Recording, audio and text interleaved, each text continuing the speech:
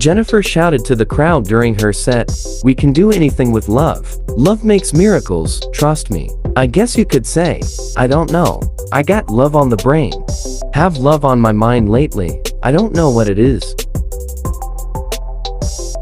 Jennifer Lopez and her beau Ben Affleck are focused on seeing each other when they can, despite their busy careers keeping them apart.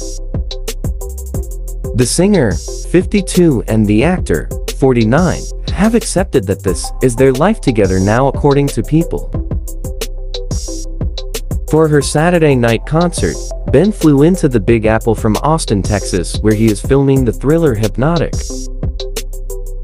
A source said that Ben wanted to be by her side. They are always supportive of each other's careers, and Jennifer was very excited to have Ben in New York City. He watched her performance in the crowd as Jennifer hit the stage at the Global Live concert.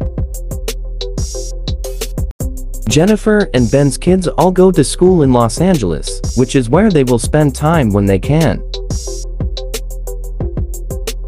The couple both gush about each other. Jennifer is as protective of Ben as he is of her. She is the happiest that she has been in a long time. That's all for today's latest update for Bennifer. Feel free to share your well wishes for this power couple in the comment section below.